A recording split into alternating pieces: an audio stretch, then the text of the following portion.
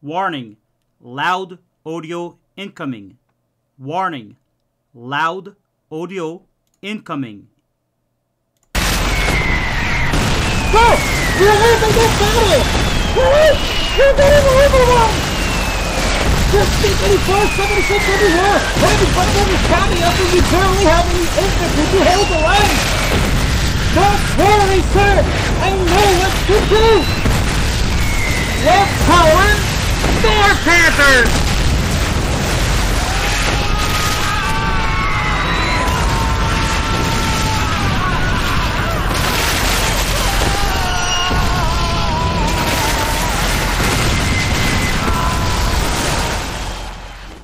Hello everyone and welcome back to Steel Division 2. Today we have with us a very special video. Um, I saw a lot of people doing a lot of Panther Panther attack is what I call them. They are useless. They are not good. You should stop doing them. And this is what I'm gonna highlight in this video.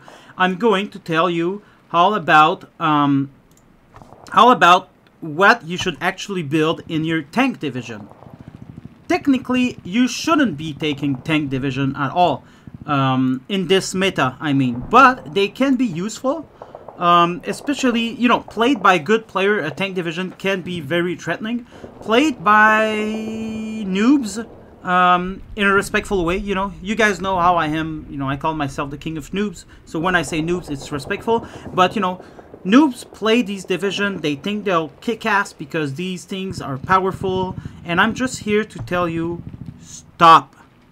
You're not going to beat anyone like that. Or actually, you, you, you might beat other noobs that don't know how. But if you want to get better, and if you want to start beating better players than you, then stop doing that and at least if you want to if you want to use a tank division build it the way I'm going to show you just now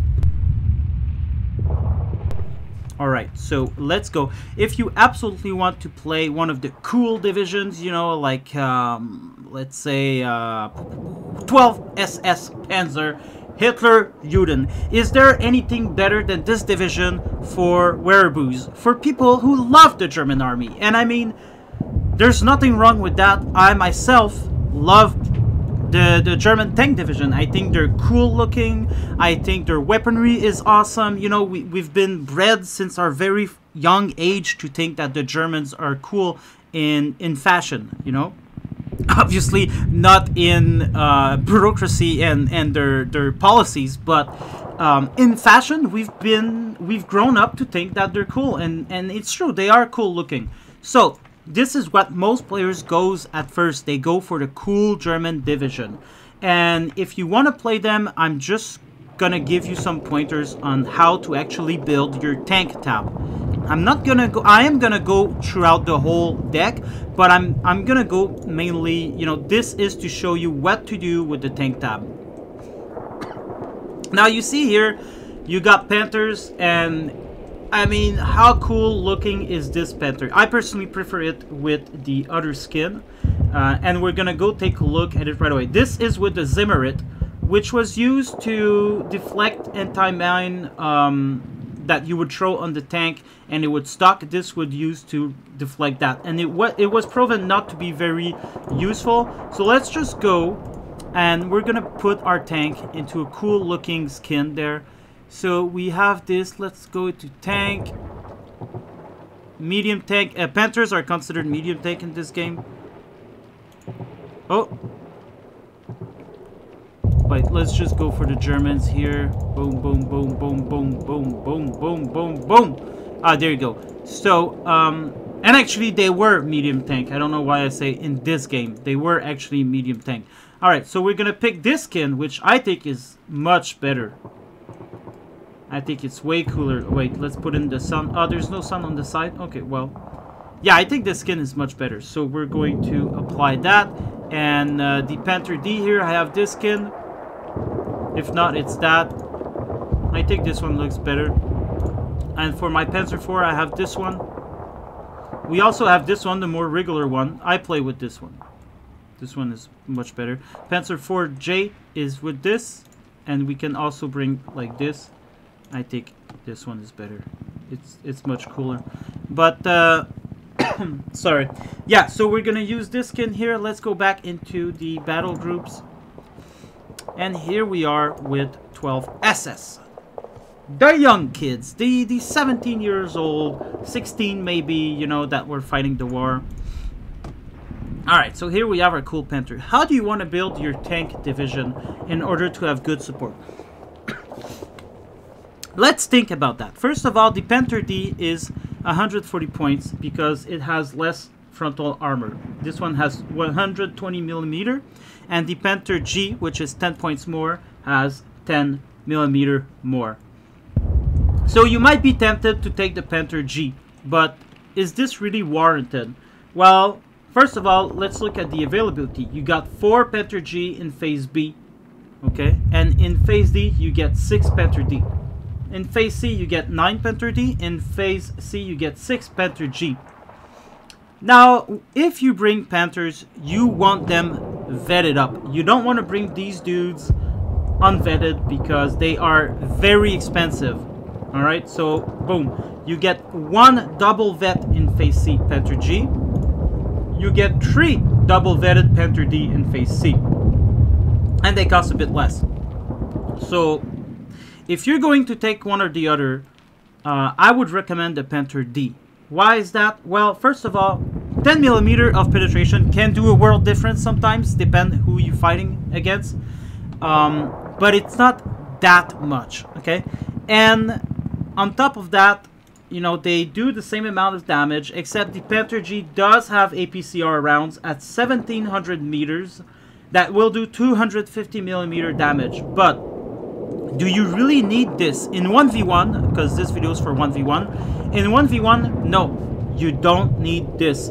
And it's very rare you will encounter another division that fields King Tigers or IS-2. You know, you can't afford to take a loss or two. Worse than worse, if it comes to you losing because the enemy had a, K, uh, a KT, then take that loss. It's going to happen one in every 200 battle. Not even. I mean, I personally, I haven't seen a King Tiger in a long time. And the last time I saw one, the dude started up with two King Tigers. And he brought more and I destroyed them all. And I didn't even have, you know, powerful tanks. I had the Tent Guard Tank Corps. And I destroyed him with bazooka, you know, artillery. Um, I think I did had a Panther D.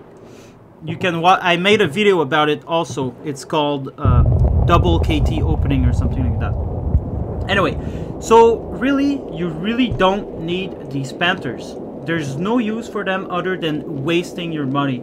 Plus, they can destroy. They get destroyed very fast because tanks in this game are have a mind of their own, and they will show their side armor, which means they'll get destroyed. So you could take a Panther G if you want, just in case, you know, I would tell you it's a waste of points. What I would recommend is you get 2-star Panther D in C-Face. First of all, build your deck in a balanced income for when you're new. Maverick is very good, but if you're going for a tank division, build it for balance. Put 3 Panther D in C-Face, 2 in B-Face, and I guess you could take one as well in A-Face. But you don't need it at A-Face. Then that's all you need. sorry. That's all you need. And if you're going to because well i'll tell you why. Because they're very expensive. And if you lose five panther d's in the battle then you're gonna lose all your panther d's no matter how much you bring. So now now that we have these settled up let's think for a second. Look at that. You can bring the same amount to double vet of leaders. So you know what? Let's delete these guys and let's take two double vetted leader tank here. And then if you manage to keep these guys alive, they'll be able to give one veteran C2, the, the one coming in C face. And then these guys are going to be 3-star. And this is the top of the... It's the cream of the cream. It's what you want, 3-star Panther Ds. Now, you could take also Tiger leaders in Phase B you would get the same amount that you would get with regular tanks. So might as well take them leaders, and if you have troops around yourself, then they'll be vetted up. So now we got four tank leaders in Phase B, and you're gonna use them for the for the rest of the game. You can also take, you know, take take tigers for C phase, or you could take them, you know, just like that. Eight of them, and in B phase, try to take them uh, with one vet There'll be two vet with uh, these guys around. And and that should be it for your heavy tanks. Now, since you're playing balance, I would say, you know, do maybe 8 Tiger is a bit too much. 4 is enough, and take instead 15 Panzer 4 Then here in phase B, well, wait, why 15 in C-Face? It's because the game can drag on for 15 minutes and more, in rare cases more. So you really want to have enough troops to, if if you do get dragged into a long battle, at least you'll never, you know, most likely you'll never run out of tanks with 15. You could take them one star and have 11. That's also a good choice because you do have leaders around here. So then they'll become two star if they're around leaders. But at this point in C phase, usually it's just like you throw everything you got forward and you know hope for the best. I personally will take them unvetted. For phase B, you will want them vetted up. So you get five vetted up Panzer IV in phase B. And that's probably going to be all you need, especially with you know your Panthers and Tigers. Uh, I don't think you and you got more Tigers here as well. I don't think you're going to be able to call in more than five Panzer IV. So, you know, just 5 double vet should be good enough.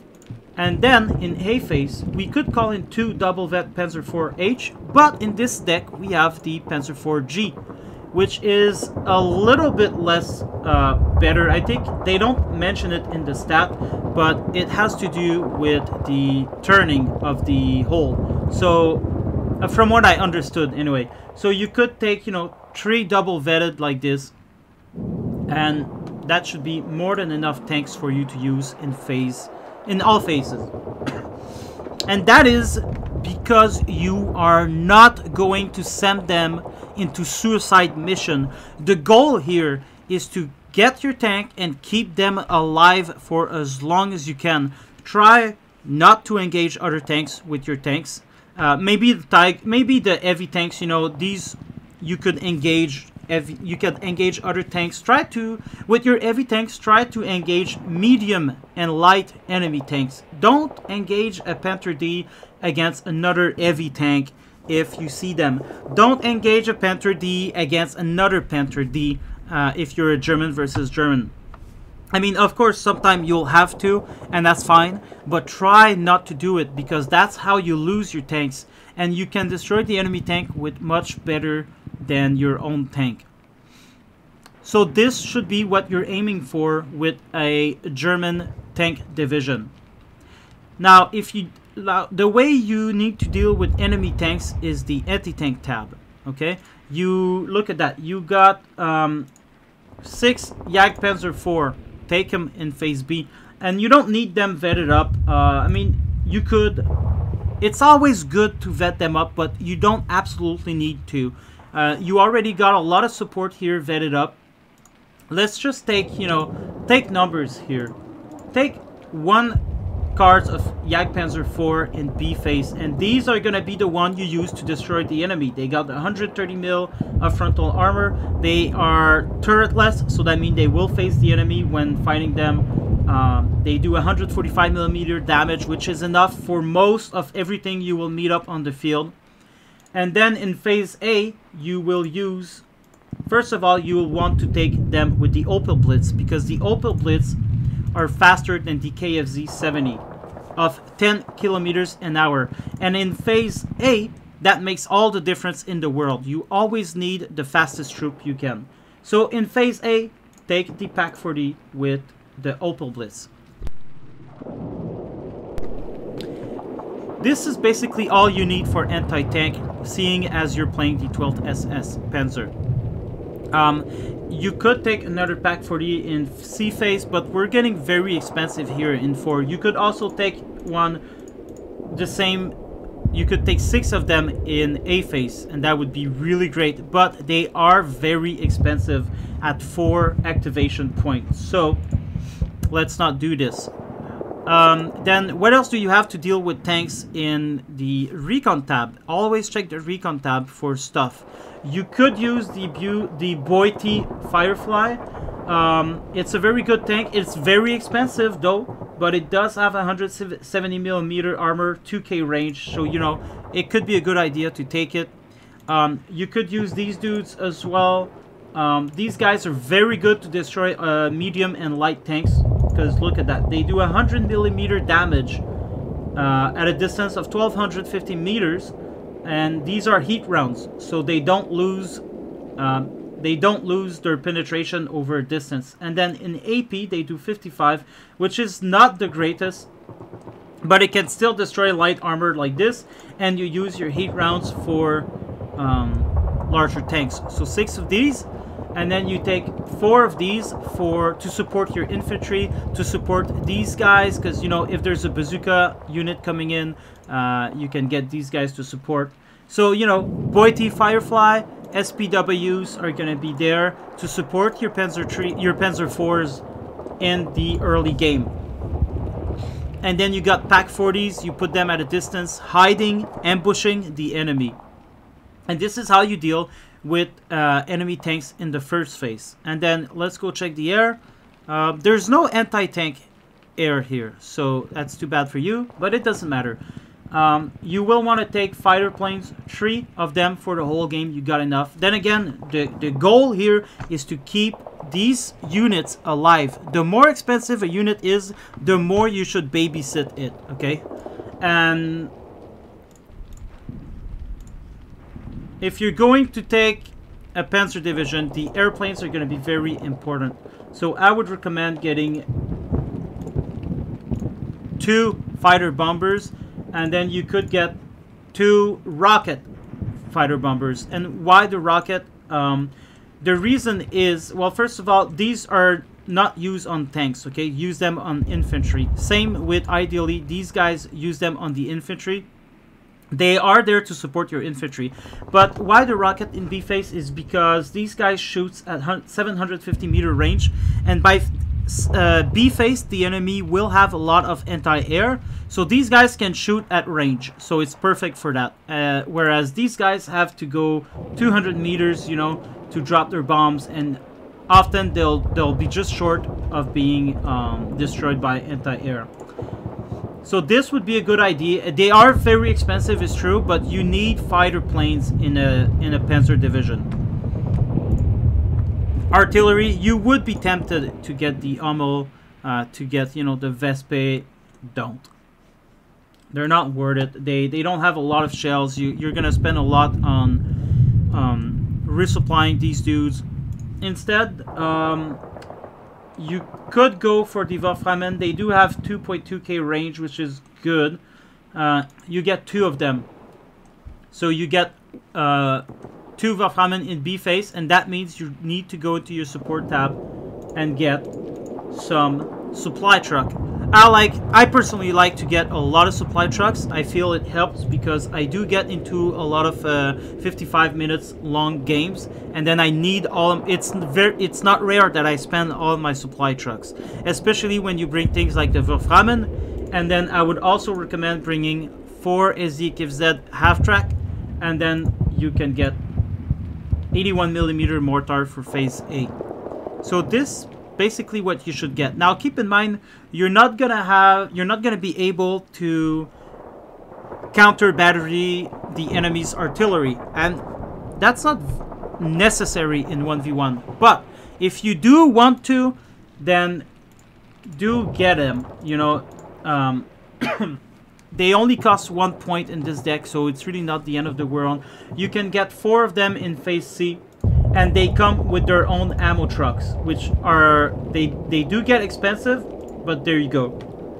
So you get the ammo trucks for these howitzers and then you get the ammo trucks here for everything else for the Wurfrahmen these guys takes a lot of ammo. Then you're gonna need a lot of ammo for the SDKFZ and you're gonna need a lot of ammo for these guys. So I personally feel that six uh, set this: that 10 Opel Blitz supply truck with four multi ammunition trucks. Uh, so that brings 14 ammo trucks in the game. I think it's warranted because you do have a lot of them. And try to use the the trick here is to try to use these half track trucks as much as you can because they're very good and they can destroy tanks like that. And now the trick with these guys is to take them in pairs in in, in quadruple. Um, what I do is I bring all four of them over the course of the game and then I select one target. Usually I, I destroy tanks with these. So I select a tank and I tell them to shoot that tank and and you you can destroy tanks easily with 81 millimeter mortar so why would you risk 140 points or 135 points unit elite on top of that on destroying enemy tanks when actually you can do it with your mortars so you do spend 400 points on mortar which is a lot um, throughout the course of the game but then you can destroy pretty much any tank that the enemy field plus you can support your infantry really well um, just you gotta shoot them, keep them alive. I made, I actually made a tutorial on artillery, so um, you can just take a look if you want more details. But yeah, I feel like this is more than enough, okay? And then what else do we have? Anti-air is gonna be very important because if you field all these tanks, but the enemy has cluster planes, and you know the IL-2 cluster planes are very good. Um, Germans decks sometimes have you know uh, clusters as well or AT rocket, and then you you spend 135 points for tank, and it get destroyed easily by enemy airplanes. So you know you need anti-air, and it needs to be good anti-air. So what you can do here is take the 20 mil with the abstract 20 mil, put these to double star. That's gonna put you four anti-air that you can call in in phase A, double vetted. Now these are going to be dangerous. Unvetted, they're not that dangerous. Double vetted, they are pretty dangerous.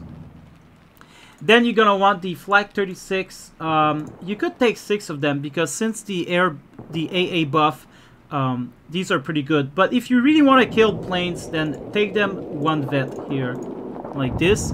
And then, you know, maybe you could take four Wirbelwind. Wirbelwind? Anyway, you could take four of these, although if you don't micro well, I wouldn't recommend taking these. Take uh, these instead. You could take them with ammo trucks as well. That would be a little bit excessive, but you know what? If we do this, we'll come here, we'll remove these guys. Because when you call in your anti-air, if they do come with ammo trucks, then just use these ammo trucks in C phase, you'll use these to supply whatever you need. So yes, it's gonna make your 88 expensive, but you know what? Don't use your 88 on the front line. Don't lose them like that. The enemy will just mortar them. He will artillery them. Use these Flak 88 far behind and use them for anti-air rather than anti-tank. You don't need anti-tank 88s. You got Jagdpanzers, you got, you know, you got a lot of troops that can do the jobs. You you have these guys, so you don't need to use the 88 as anti-tank in this deck. Use them to suppress the enemy so that the enemy cannot go bomb your tanks. And then if you really want, do take this. I mean, it only costs one activation point, so, you know, but anyway. So, this is more than enough. Personally, personally, I would take these Flak 36 unvetted because the game is going to be long. You're building up this deck for a very long game, so you don't technically need it. Support weapon, um, you're going to need machine guns, and take it with one vet. Use the Horch 108 because it's the fastest gun. It's the fastest trucks you can actually. Yeah, it's the fastest. So use this one. There you go. Then in phase B, don't use the fast trucks. Use the second fastest, the Kübel. Just because you want to keep these guys for phase 8. And this should be more than enough MG42. You don't need them vetted up in B phase. And then you could use these Grille as well if you feel like it. They're very good. They shoot HE at 2k. Just, you know, they don't, they're not expensive, but try to micro them as well. Um, then you want flamethrowers with the BMW R75 because it's the fastest. It goes at 90 kilometers. And these you're gonna be used in the start of the game. You're gonna be using them to take flags early. So um, you want to get to your own flag before the enemy gets there because the enemy will come at you with these guys. So you need to bring these guys on your own flags before the enemy gets there. And this should be more than enough in the support tab. Now we've got 43 out of 50. We're back to the infantry uh, deck. We might delete some stuff to make more place for the infantry. Um, but the infantry is pretty important. Now, personally, I don't play much with veterancy. But since uh, we're talking noobs, noobs here, um, maybe you would want a double uh, vet your infantry like this, like this. We're gonna take the Panzerfaust because they have Panzerfaust. They can deal the enemy damages.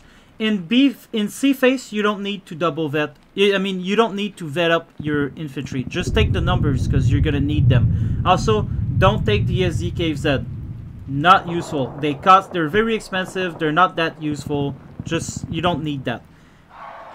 Then, you're gonna need CQC infantry, count set, count set, count enough. Yeah, you're gonna need CQC infantry, um, you know, in A and B phase. Now we're out of options here. We're gonna delete some stuff. I personally am going to delete this guy. I personally will delete this dude. I don't need them. Sys set enough. So now we can take another infantry tab and we're gonna take more pioneers because um, you want to be able to fight in the forest and to do so you need these explosive and personally and that's just me I mean for you I would recommend getting CQC um, in in in the early game me what I do is I take them in the late game and I take them with half track because these guys they're not your line infantry you don't need them to get fast. You don't need them to be, you know, they're not quite expensive. They are uh, 25 points. So if you take them with the half tracks, uh, they're only 35 points. It's decent. And in this situation, it would be good to have half tracks. So, you know, there's a time and a place and a unit to bring half tracks with. Your line infantry is not. Your CQC or your special elite troops is. So if you want track, and I personally I do because in the late phase I want as much unit on the ground as I can possibly bring. So I'm gonna use that. And then we only have six infantry in phase A, so that is definitely not enough. Me personally, I would remove that tiger because I don't need it. And then we're gonna be adding the we're going to be adding these. You could take them vetted up, but, you know, for a face, I personally don't bring veterancy. And I know people are going to hate me for that, but, you know, I'm, I'm keeping in mind here that you're a noob. Uh, you probably want numbers because you're not going to micro very well. And you know what? You could even just, just go ahead and take infantry unvetted up. And personally, that's how I started playing the game, and I did become very good at the game playing without veterancy. And so, obviously, this is my personal opinion that when you're learning the game, you don't need veterancy. You need numbers because your units are going to die often. And I feel like the tank division don't really allow you to get veterancy. Uh, of course, if you want to play with veterancy um, with your infantry, then, you know, go ahead and experiment. It, it, it would be good. You could uh, you know you could remove one plane and then you know well wait first of all take a mental image of this deck. This is the deck I'm going to recommend and I'm gonna put it in the uh, I'm gonna put it in the description because um, was it John was saying that to me um, let me check two seconds yeah, it was Jonathan. Jonathan, a viewer of mine, was saying I should start putting the decks, and I, I, I always forget. So now I'm going to copy this deck before I change it back. Battle group.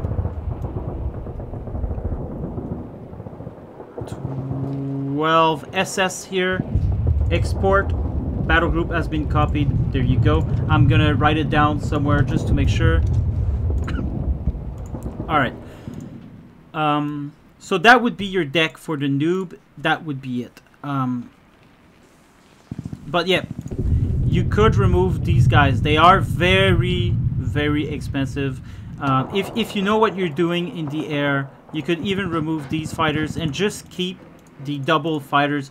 But make sure, I mean the fighter bombers, make sure you don't lose them because these are going to be very important, especially in C phase. What I do recommend is you use them as much as you can in phase A, if you can afford to bring them. And then in phase C, I mean, in phase B, stop using them when there's a lot of anti-air in the in, in the sky, unless the enemy has a breakthrough into your own line, and now you're not uh, they're not covered by AA then use these planes. But if not, just don't touch them. And then in phase C, when the enemy has less AA because you've killed them with your artillery, start bringing them again. So what you could do is this bring, you know, these dudes, boom, boom, then bring these dudes in phase B and then we're gonna have personally I'm just gonna have these dudes then and then you can take you know um, the leaders. You in phase A I would not recommend to bring your leaders with the fastest troop because they're going to um, they're going to die. They're going to arrive before your infantry and they'll die. So you know bring them with uh, they don't have regular trucks. Well that's a bummer well, anyway, bring them with the Kübel then, if that's the only choice you get. Then you can bring a second uh, leader, and we're going to use the one with the Panzerfaust, just in case. And there you go. So you could do that. Um, this will give you double star veterancy on your units. Um, then you got the tanks as well that will give veterancy to close by infantry, bring them to double star, or that... Whoops, did I forget something here? Damn it. I did forget something. I forgot that I actually need infantry in C phase. So we're going to just add this dude then. And in A phase, we're going to go get these dudes. And there you go. These dudes do come with the Opel Blitz. So that's going to give you um, two leaders in A phase, which is enough. Just use them where you attack or where you think you should defend the most. Um, two leaders there, and then you'll have six in B phase, and then you have these four tanks. And then you still have one point, and it's in the anti-air department. So anti-air department, I would personally go for eight of these. Uh, but just to be cool, you can bring this guy. Um, they're just 25 points more, and they're I think they're much cooler. They do 1.6 damage too, so that's more. And um, yeah. So this could be 12 SS noob veterans. This could also be it. And but you know, I think you're gonna be lacking in Air Force. Um, and I think you might lack in infantry as well. Now, playing a deck like this with only 12 infantry in A phase is going to be really difficult. It's hard, and I personally, I like to play my deck like this. I like to struggle in A phase, and as it goes, it gets easier and easier. But anyway, so this was the little tutorial I wanted to give you guys. Um, I'm going to save this battle group, and I'm going to send it as well. So this is the tutorial. I hope you enjoyed it. I hope it's going to help you out. But really, you need to stop bringing Panthers. And why is that? I'm going to publish another video after that. And we're going to see exactly why I got the perfect example. So thanks for watching. And uh, stay alert for next video because it's going to be directly related with this one. And you know, guys, I'm close to have a thousand subscribers. So I don't say that usually. But why don't you just sub? Half of you are not sub to me and you still watch my videos every time. So just sub, get me to 1k subscribers so I can start making money doing these. All right. Thanks, guys. Have a good day. Bye.